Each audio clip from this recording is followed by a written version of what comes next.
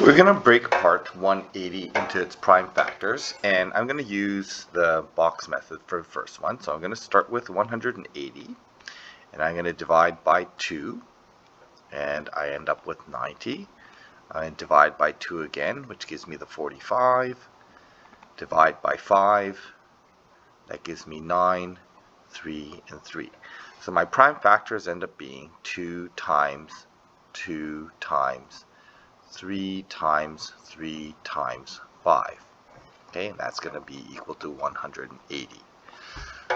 For this one here, we'll use a factor tree. So I'm going to break this up into 2 times. Uh, this looks like 96. 96 can be broken up into 2 times 48. 48 can be broken up into 2 times 24. There's lots of 2's in here, so 2 times 12, 2 times 6, 2 times 3. Okay, so 192 can be rewritten as with 1, 2, 3, 4, 5, 6 2's. So 2 times 2 times 2 times 2 times 2 times 2 times 3. Okay, and that's going to be equal to 192.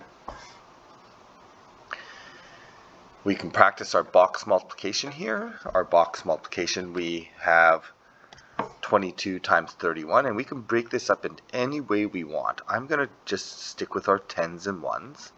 So 30 plus 1 20 plus 2. That gives me 30 times 26. We annex the two zeros, so we get 600. 20 times 1, 30 times 2, and 2 times 1. And so we sum this all up, we get 682.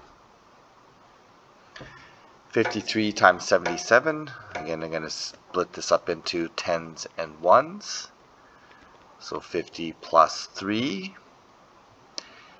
So 5 times 7 is 35. We annex the two zeros. 7 times 50 is going to be 350.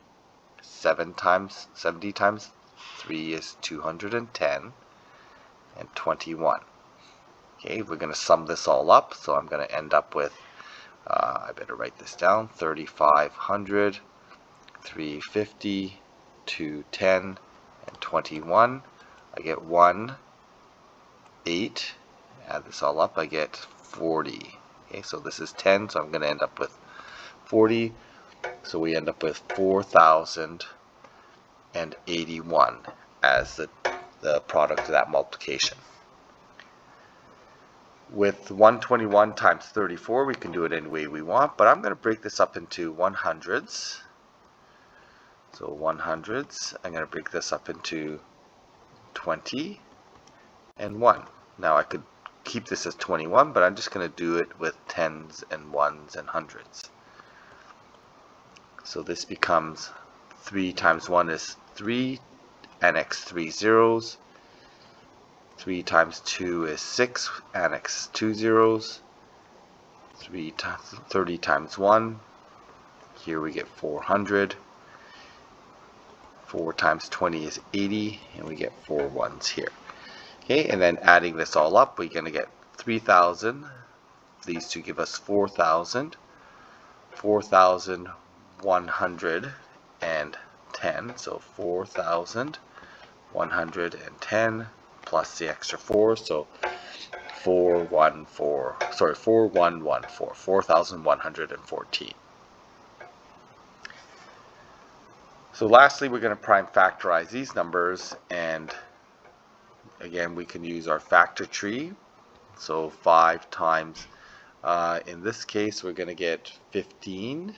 5 times 15 should give us one 725. Just going to double check that. No, that's not going to work. Okay, so we're going to do 5 times Okay, so 2014, no, that's right, 15.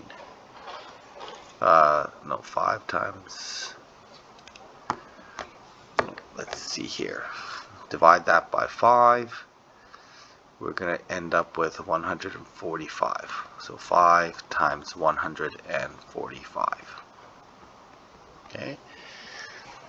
and then we're going to end up with uh, 145 divided by we're going to do 5 again so we're going to end up with in this case 29 and nice thing about hitting these the ones that are hard to factor the ones that are hard to factor often involve prime numbers 29 is a prime number so we end up with 5 times 5 times 29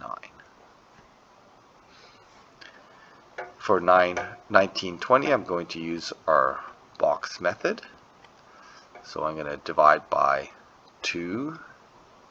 That's going to give me 960. Divide by 2 again, that's going to give me 480. Divide by 2 again, that's going to give me 240.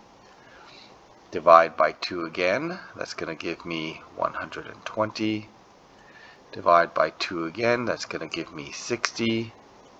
Divide by 2 again, I end up with 30 divide by 2 again, I end up with 15. Divide by 3, I get 5. So I end up with 1, 2, 3, 4, 5, 6, 7, 2. So I'm going to rewrite this as 2 to the power 7 times 3 times 5. And that's going to give me the product of 19, 20.